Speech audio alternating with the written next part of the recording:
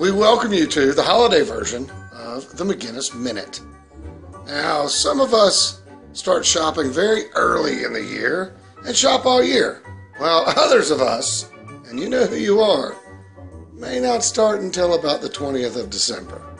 Well, the golf world, it's been shopping all year.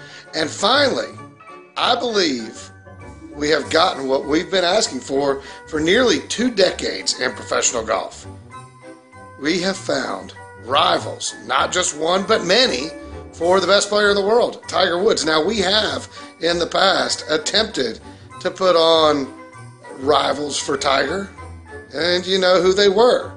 But they sort of fit like that knitted sweater from the Kooky Aunt, where one sleeve was just a little bit longer than the other. Sure, those guys could play, and some of them could play with Tiger at times. But now we are in the position in professional golf where the best Adam Scott has to offer, or the best Rory McIlroy has to offer, or the best Henrik Stenson has to offer, may just be good enough to beat Tiger when Tiger's at his best. And that certainly hasn't happened before. Oh, and a nice little stocking stuffer in 2014.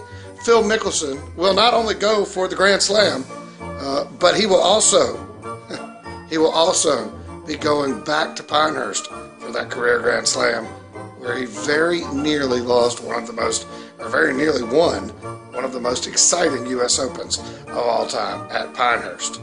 We hope that you enjoy your holidays and thank Myrtle Beach for your next golf vacation. That is your Maginnes Minute.